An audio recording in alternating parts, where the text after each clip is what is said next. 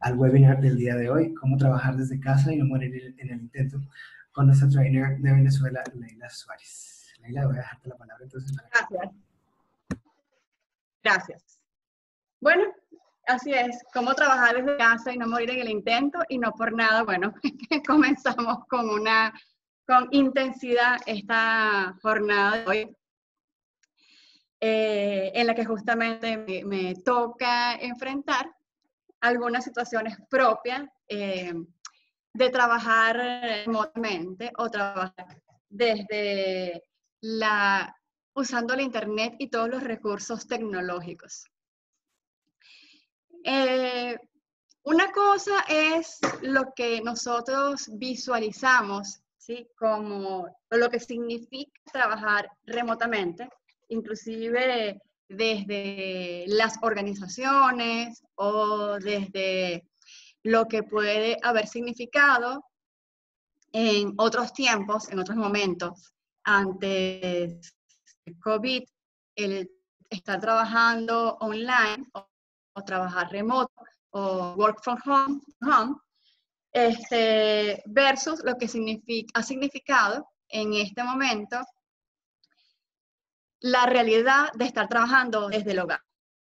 Entonces, en ese sentido, me gustaría eh, a quienes están conectados en este momento, dependiendo de dónde se encuentren, que tomen un respirito y volteen a Sor. Si no están, por supuesto, en una habitación separada del resto de la casa y la que tienen que ausentarse de su computadora, pero si están en parte de ambientes que son compartidos, que se tomen un respiro y vean alrededor y me digan desde el chat qué ven. Cuando miran alrededor, si en este momento están en su casa.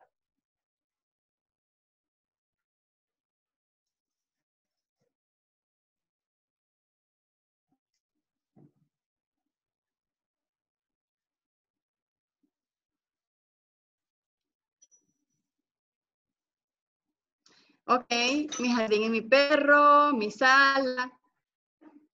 ¿A quiénes más ven alrededor?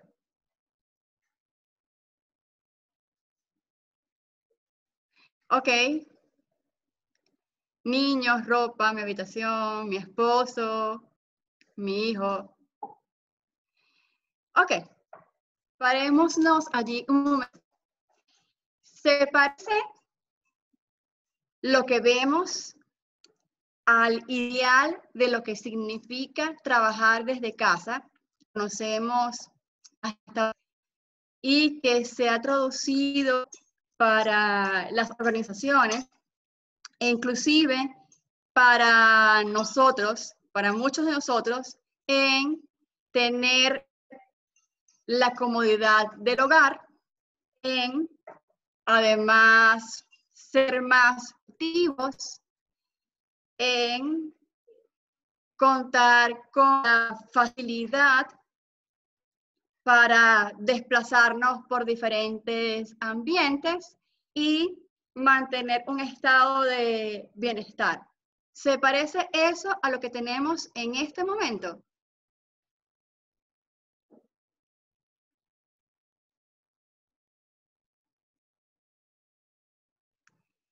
Delfina dice no. Gabriela dice sí. Ok, no tanto. ok, siento mayor seguridad, vale 100%, por supuesto, en este momento. No es fácil, no es lo ideal. Ok. Efectivamente, aunque en este momento, dadas las condiciones fuera, ¿sí? En relación a la pandemia, eh, los peligros que representa para la salud, amén de situaciones, dependiendo del lugar en el que nos encontremos, todas situaciones que podemos confrontar en el exterior, eh, si bien algunos de nosotros podemos eh, ser em, bastante amigos o cercanos al trabajo remoto, quizás otros estén ya completamente remotos, habituados a lo que significa el trabajo a distancia eh, y además a ajustarse a las demandas del trabajo a distancia. También hay otras personas que eh, no necesariamente tienen esa, tenían esa habitualidad, sino que eran personas este, en cargos administrativos que eh, pues por el cierre de sus organizaciones, debido a las necesidades de preservar la salud y el bienestar de los empleados, se ven en este momento en la necesidad de estar en sus hogares o en el lugar donde les tocó estar, pero sin que necesariamente estuviesen preparados. Pero aunque ustedes o algunos de ustedes ya estén habituados al trabajo remoto o sean francamente remotos, aún así las condiciones no son las mismas. la manera como nos estamos en este momento manejando no son las mismas condiciones a las que teníamos antes de la pandemia. Y justamente vamos a entrar en ese universo, en ese mundo.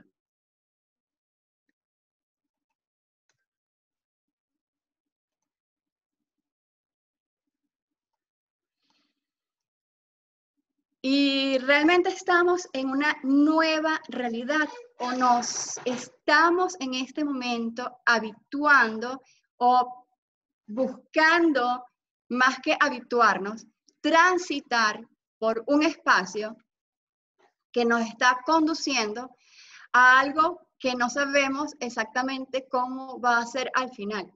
Estamos en un proceso, estamos en un puente. Entonces es esta, en el momento en que estamos en medio del COVID, porque no hemos llegado al final de él y las estadísticas lo dicen a nivel mundial, en relación a las recaídas, los intentos de apertura, nuevamente, o de flexibilizar eh, los horarios y nuevamente los cierres, dice que no hemos llegado al final, que estamos transitando, estamos en un proceso. Y en este sentido, cuando se habla de nueva realidad, ¿sí? Eh, se hace referencia a un término que surge eh, más o menos cercanos al, en alrededor del 2008, cuando hubo aquella tremenda recesión económica y a partir de todas las iniciativas que se generaron en relación a ese proceso.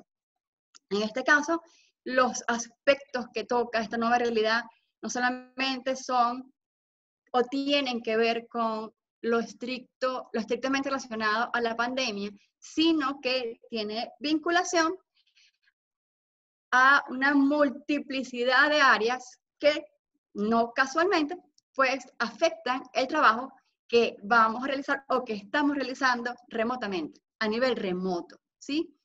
Entonces, ¿cuáles son esos aspectos de esta nueva realidad que, como dicen por aquí, es incertidumbre en cuanto a esta nueva realidad? Sí, estamos en un mundo incierto, en un mundo eh, busca, líquido, como lo quieran llamar.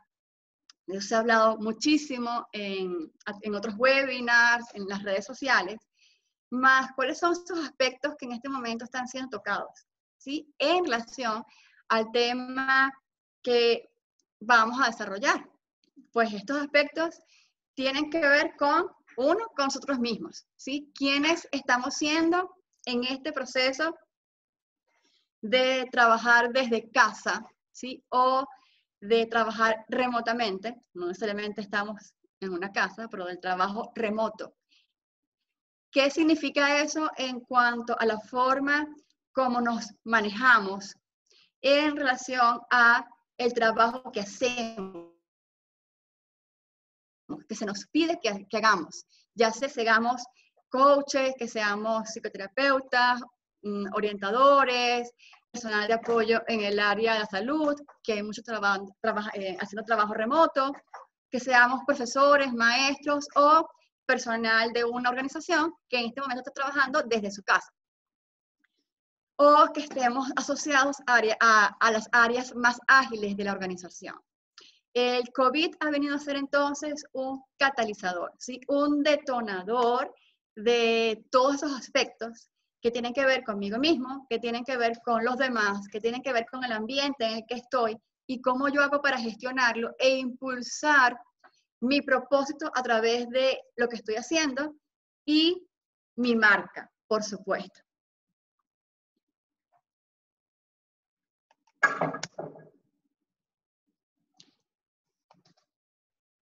Entonces, el trabajo remoto es más que trabajar desde cualquier lugar, ¿sí? Es más que trabajar desde nuestra casa o desde la llamada comodidad del hogar, porque aquí nos sentimos seguros, estamos libres eh, de un posible peligro, ¿sí? Que amenace nuestra integridad y la de los nuestros. Eh, los límites del el trabajo remoto, ¿sí? En la actualidad han trascendido a los límites de la organización. Se han entrecruzado sus exigencias, ¿sí? Con las de otros sistemas con las que estamos interactuando. ¿Cuáles son esos sistemas? Pues nuestra familia, eh, nuestros hijos, que por allá atrás tengo a una, por cierto, eh, nuestros colaboradores, compañeros de trabajo, ¿sí? Pues todos aquellos quienes, con quienes estamos en este momento, ¿sí? Con ellos estamos interactuando, son otros sistemas. Pero adicionalmente también con aquellos a quienes servimos, ¿sí? Con nuestros clientes, aquellos que además nos proveen, con nuestros proveedores, ellos, con ellos también estamos interactuando y con ellos en este momento también se entrecruzan los límites, se entrecruzan las exigencias, dadas las condiciones en las que estamos. En función de eso, ¿sí? en las últimas encuestas que fueron realizadas por Gallup y Glint, el 36% de un universo de 700.000 personas ¿sí? declaró que sentía burnout, que estaba evidenciando manifestaciones o síntomas de burnout. El burnout fue declarado por la Organización Mundial de la Salud como una enfermedad, ¿sí? ¿Y qué significa burnout? Que yo me siento sobrepasado, que yo siento que las exigencias y las demandas que debo realizar en este momento me generan tal nivel, tal nivel de tensión y de estrés que me hacen manifestar los mismos síntomas, ¿sí? Para llevarlo a otra, metafóricamente, ¿sí? Al síndrome de estar quemado. El 40%, el 40% de estas personas que fueron encuestadas manifestaron o reflejaron que tenían altos niveles de ansiedad o ansiedad. ¿Y qué es la ansiedad? Pues yo tengo la presunción de que estoy enfrentando un peligro y ese peligro es inminente, pero ese peligro no viene de un aspecto concreto de la realidad o una situación concreta, sino que es un elemento, es un aspecto, es un enemigo difuso y por ser difuso tengo que prepararme ante él y eso me genera ansiedad, ¿sí? O la sensación, que fue el 44%, de, estar, de sentirse exhausto, ¿sí? De no contar con las energías necesarias para realizar lo que le toca realizar.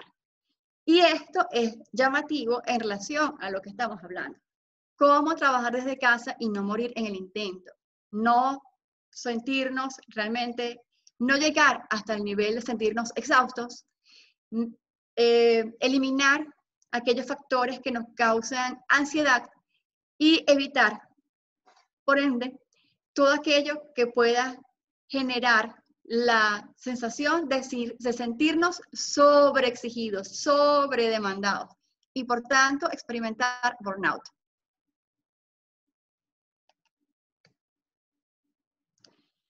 Entonces, trabajar de manera remota desde la casa, ¿sí? En este momento implica, o siempre ha implicado, realizar transformaciones digitales, ¿sí? Esas transformaciones digitales tienen que ver con nosotros como personas, así formemos parte de una organización.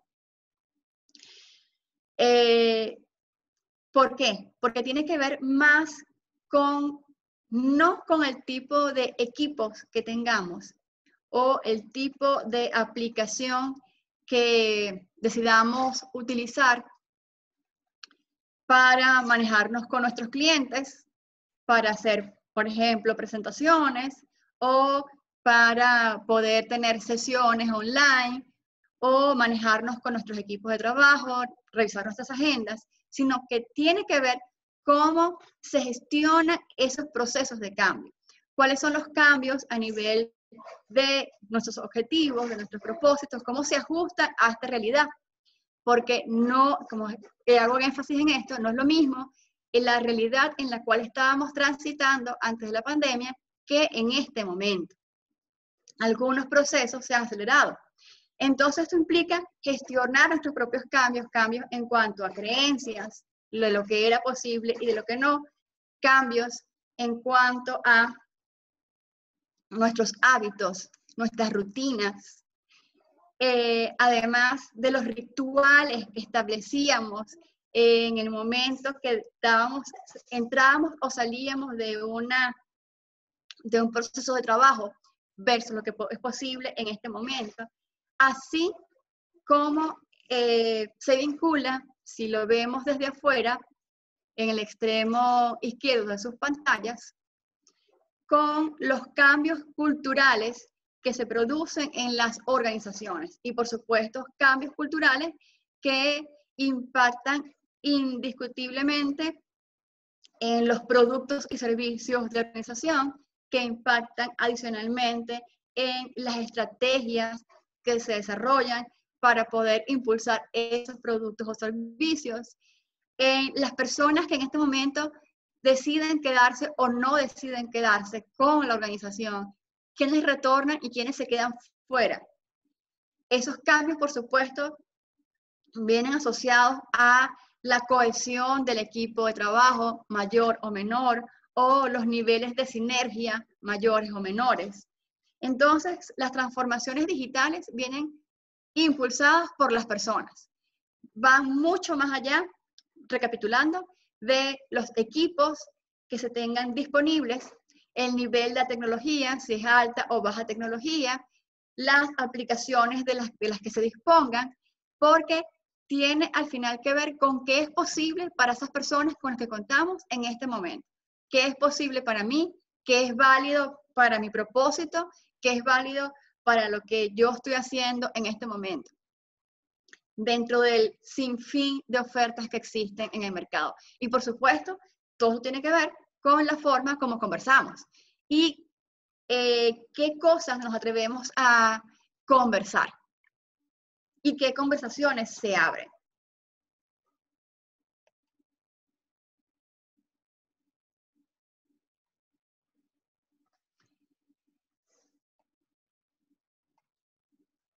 Si nos vamos entonces a las áreas de gestión que es fundamental atender en este momento, hay que comenzar, como se los planteaba, por atendernos a nosotros mismos, ¿sí? Y cuando nos vemos a nosotros mismos, tenemos que entender que si estamos trabajando desde, casa, se nos piden como en todo trabajo, unos resultados, ¿sí? Y esos resultados van asociados al rendimiento que podemos dar en función de ese proyecto, en función de esa tarea que tenemos a cargo o la cual estamos encomendados. Implica también coordinarnos, ¿sí? vincularnos con otros y en la medida que nos vinculamos con esos otros, significa establecer acuerdos, significa pedir, significa reclamar, significa quejarnos también. Y mantener nuestro bienestar. Y les pido que recuerden en este momento, ¿sí? ¿Cómo fue su entrar? Si algunos de ustedes trabajan en este momento a distancia, o si todos trabajan a distancia, ¿cómo fue su entrar esta mañana, luego de despertarse, o a media mañana, no importa la hora, luego de levantarse, a la conexión online? ¿Cómo fue ese proceso? ¿Ustedes se levantaron y se conectaron de una vez con sus computadoras o con sus teléfonos. ¿Qué ocurrió entre eso y la conexión? Por favor, déjenmelo saber a través del chat.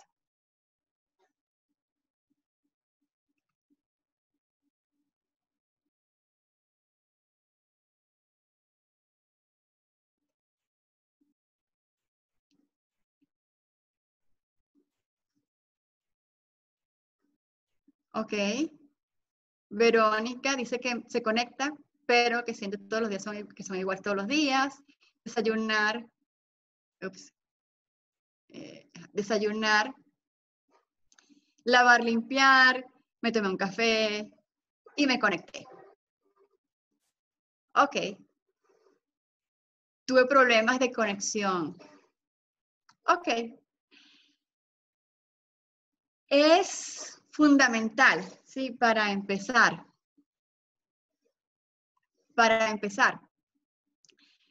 Este proceso de trabajar a distancia o de trabajar online, eh, el cual además gestionar como todo hábito lleva un tiempo hacerlo, ¿sí? Y cambiar, por supuesto, viejos hábitos, implica inicialmente alinear, así como los carros, alinear y balancear la energía. No es recomendable, ¿sí?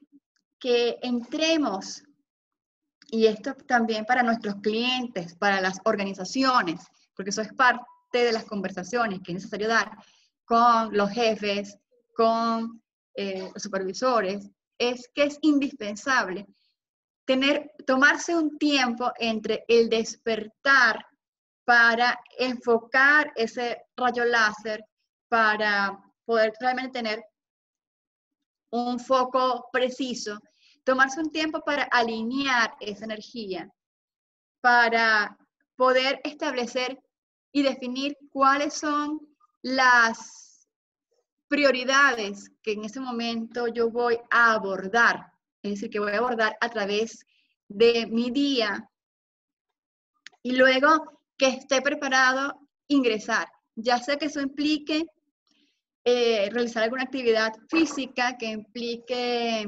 meditar o que simplemente sea hacer algún ritual de los que hacemos previos a entrar a trabajar que no sea el que parezca igual al resto de los momentos que vamos a tener en el día.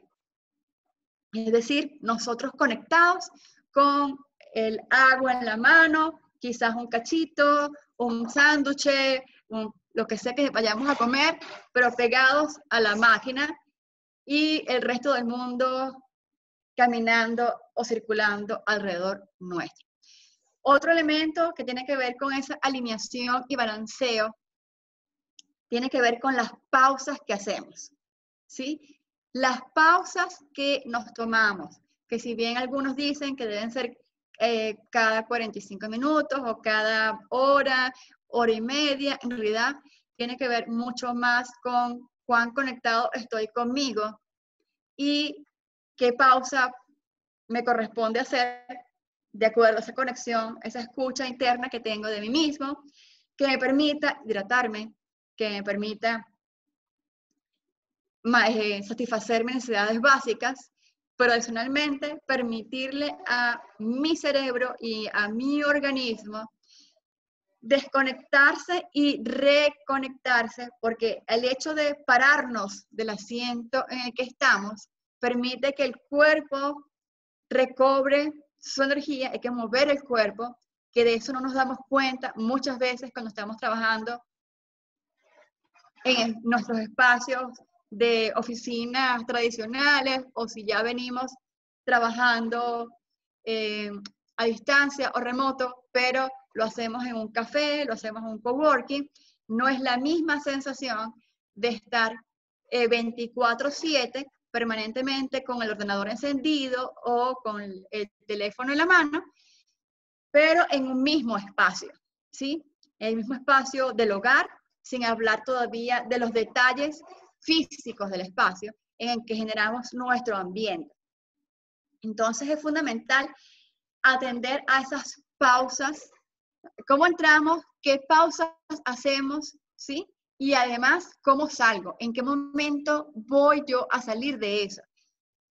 Ya sea para almorzar y después de almorzar o de la merienda, nuevamente al final de mi, de mi día de trabajo, porque no necesariamente mi día de trabajo tiene que ver con el día eh, al que estamos habituados en el trabajo de oficina, eh, que es un trabajo de 8, 10 o 12 horas, pero donde hay un momento de desconectarse y llegar al hogar. Aquí no, aquí estamos eh, con los equipos 24/7 disponibles o prácticamente disponibles si tenemos que compartirlos con alguien más de nuestro entorno. Entonces, cómo salir también es fundamental. ¿Qué me lo va a decir? ¿O qué, qué hago que me lo diga? ¿Qué indicador para yo darme cuenta que tengo que desconectarme en algún momento en función de cómo yo he establecido mi rutina? Porque como les decía, cada rutina eh, en este momento es distinta o tendría que ser distinta en función de las necesidades de mi entorno. Y eso vamos a hablar más adelante. Otro elemento importante es la organización y la disciplina. Es fundamental organizar nuestro trabajo. Una vez que hayamos balanceado nuestra energía, organizarlo. ¿Qué vamos a hacer? ¿Qué vamos a abordar? ¿Cuáles son las prioridades? Tendemos a creer ¿sí? que podemos hacer más cosas durante el día que todas aquellas que podemos hacer a lo largo de un año. Eso lo decía o lo dice Bill Gates. ¿sí? Entonces sobreestimamos lo que podemos hacer y eso hace que eh, para muchos de nosotros eh, nos veamos en la tentación de permanecer eternamente conectados a nuestros equipos o con los teléfonos haciendo contactos, perdiendo de vista nuestras propias necesidades y necesidades de con quién estamos y posiblemente quizás violando algunos acuerdos. Entonces, es realmente eh, considerar en función de el para qué estamos trabajando, cuál es el propósito de estar trabajando, cuáles son las prioridades en función de los proyectos que tengamos entre manos y prelar, es decir, darle prioridad a la constancia sobre la carrera. Es decir, evitar el, justamente el estar corriendo para desarrollar una actividad. Si eso significa estar corriendo, pues tachamos ese elemento de nuestra lista de prioridades, por supuesto, en la medida que sea posible. Y si no, esto es un tema importante a conversar.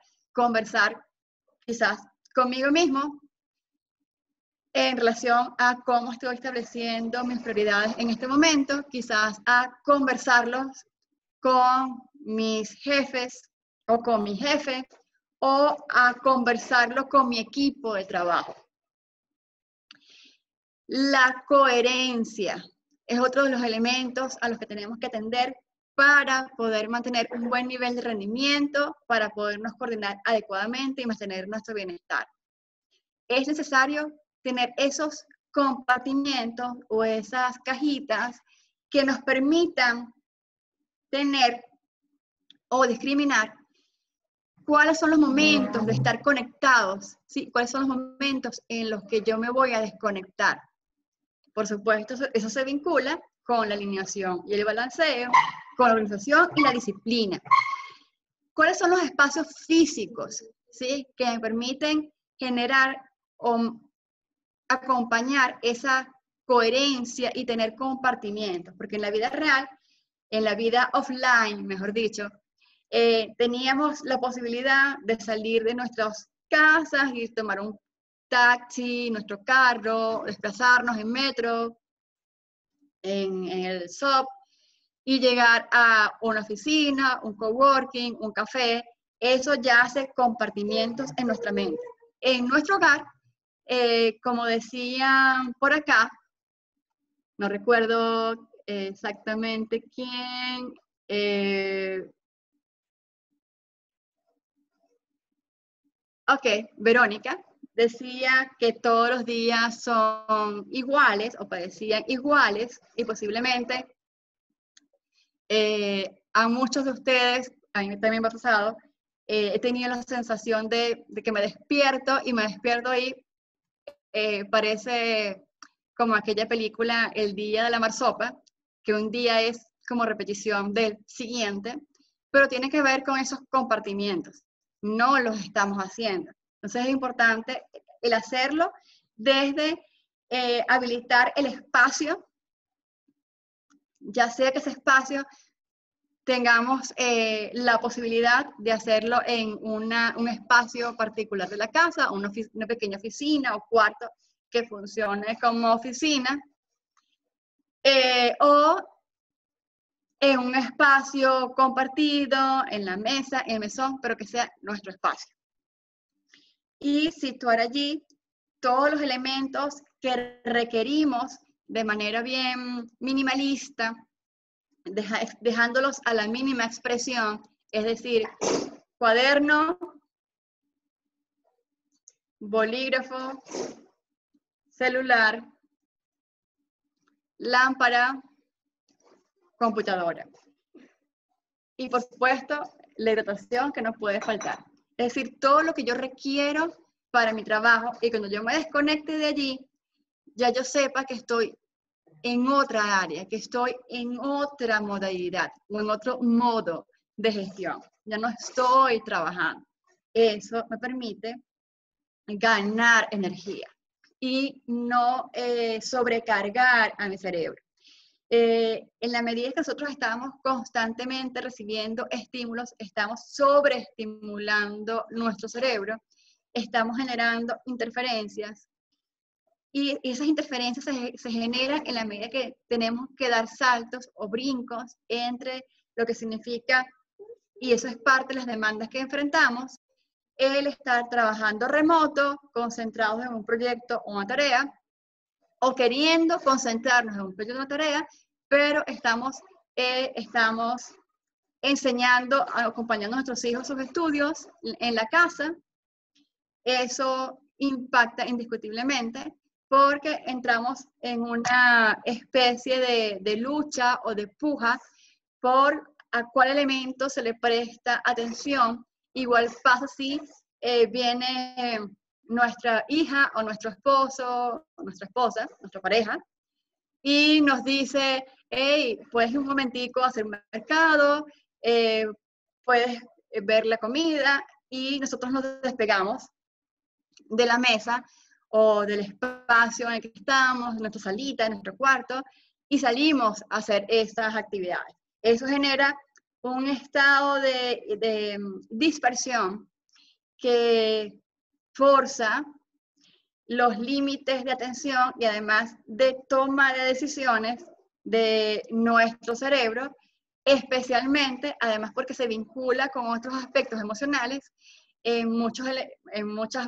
muchas veces esto tiene que ver con la gestión que hacemos de, por ejemplo, sentirnos eh, frustrados o sentirnos con culpa porque no estamos atendiendo otros de las áreas de gestión de nuestra vida en el momento, en este momento en que estamos. ya sea que tenga que ver con nuestra familia o eh, con alguno de los miembros en particular de nuestro entorno. Otro de los elementos fundamentales tiene que ver con la flexibilidad. Es decir, para ¿qué hacemos para construir nuevas rutinas? ¿sí? Quizás los antiguos hábitos que teníamos en relación a las horas para conectarnos al trabajo, para eh, desconectarnos, para tomarnos un descanso, irnos a la cama. Quizás esos hábitos ya no son pertinentes. Quizás tenemos que ajustarnos o reajustarnos, reacomodarnos a una nueva realidad y no pasa nada. Eso es parte del, del proceso que tenemos que gestionar ¿sí? Quizás para algunos, si tenemos niños pequeños este, que están en, en, el proceso de terminar su escolaridad, terminar su escolaridad y requieren acompañamiento, quizás no nos vamos a poder conectar a las 7 de la mañana u 8 de la mañana, sino que va a ser después que ellos terminen sus actividades, o más bien en la tarde.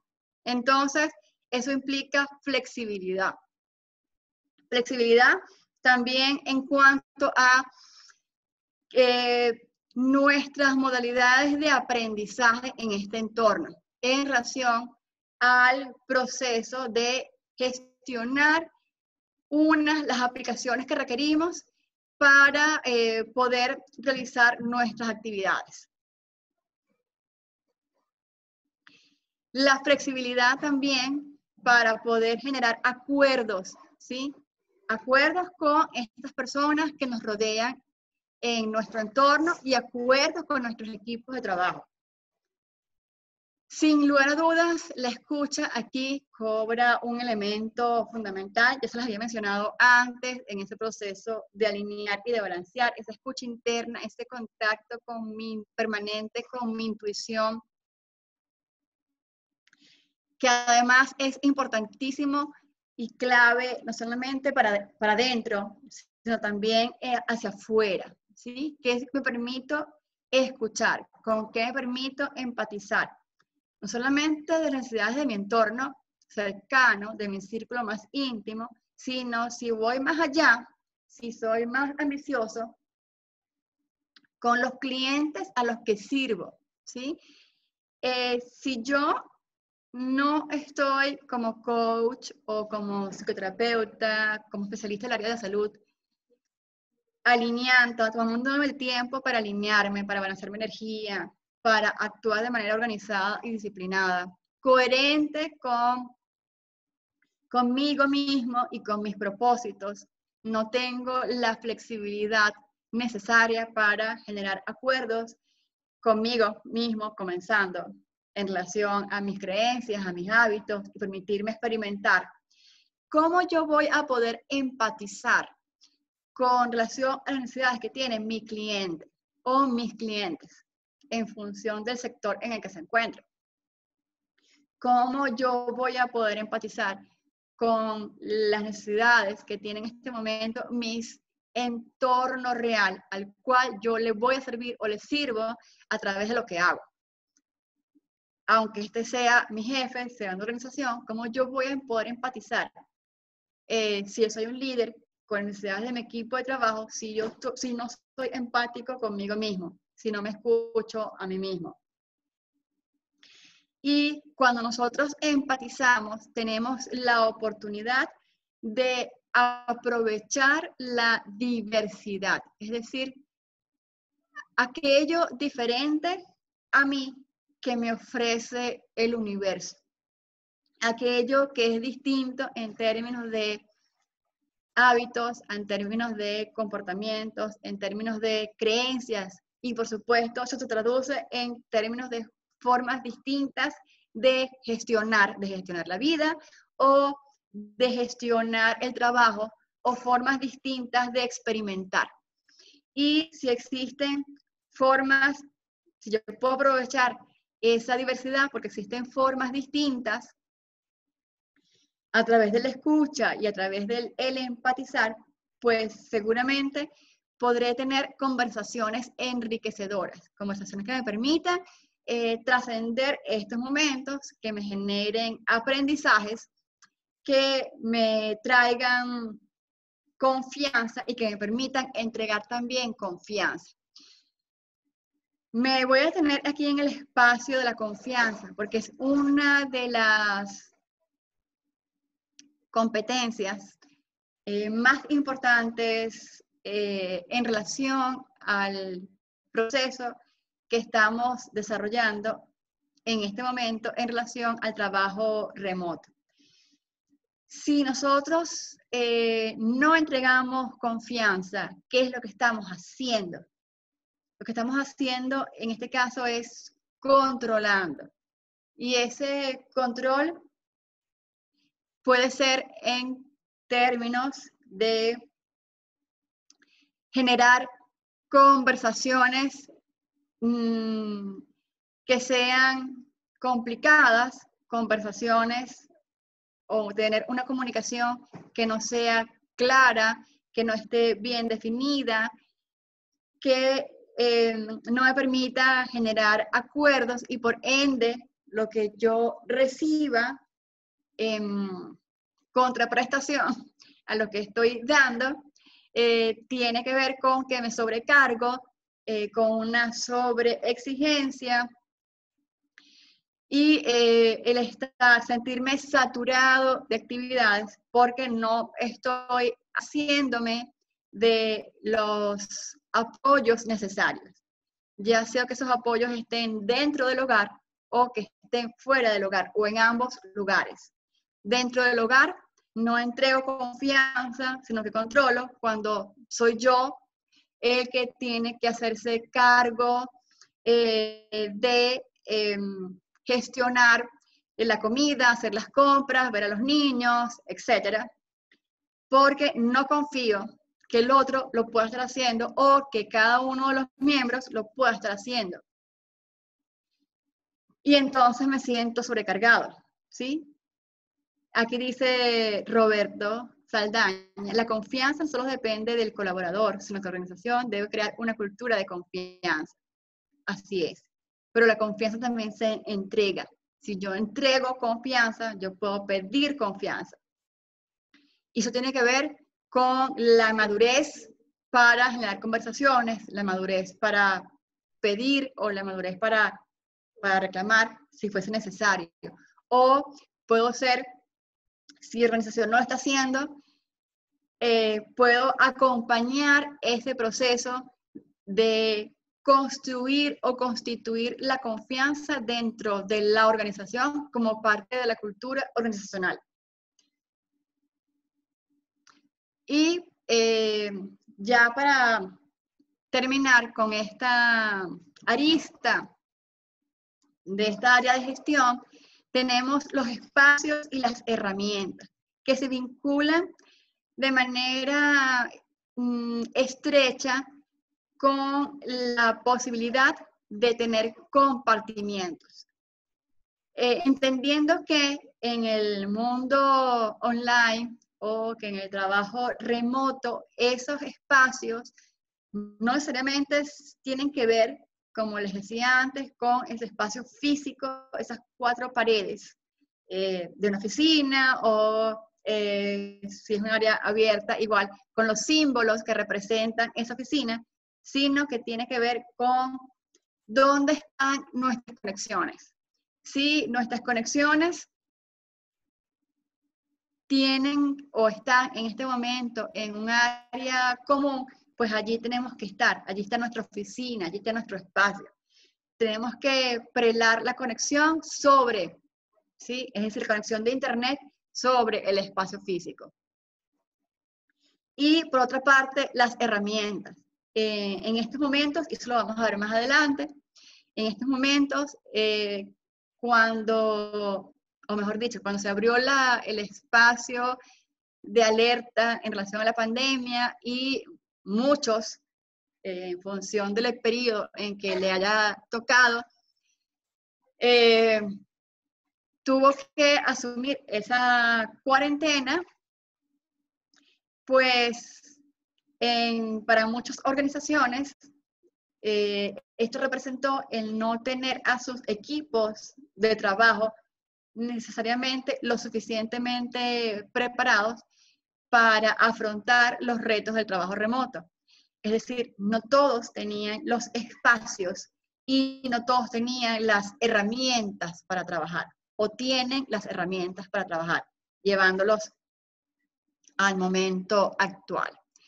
Y esto es un elemento fundamental a considerar en relación a la gestión que hacemos nosotros con relación a nuestro propósito, el para qué estamos trabajando de manera remota, eh, a qué servimos con esto, a quiénes servimos con esto, qué vinculación tiene esto con nuestros propósitos, con nuestros objetivos y con quién estamos siendo, ¿sí? Entendiendo que nuestra identidad tiene que ver con los juicios que hacemos de nosotros mismos y además con los juicios que hacen los demás acerca de quiénes somos. Entonces, en función de eso, eso nos vincula con esos espacios de generar coordinación y de generar bienestar, no solamente para nosotros, sino para otros, a través de lo que damos y lo que hacemos, que tiene que ver con nuestro propósito, y de allí que sea fundamental el preguntarnos en este momento, y esto es un ejercicio que les invito a hacer, ¿sí? ¿Cuáles son las áreas de gestión en relación a nuestro propósito que en este momento se están viendo afectadas? Y en relación a lo que es nuestra realidad, ¿sí? En este momento, ¿qué estás obteniendo en esa área? ¿Y qué existe en ese momento? ¿Qué quieres en lugar de eso estar obteniendo? ¿Qué quieres construir? ¿Qué quieres rediseñar? ¿Qué aprendizajes puedes tener en este momento que si te invitara a verte como una marca, ¿sí? ¿Qué podrías tú simplificar? ¿Qué podrías tú cambiar?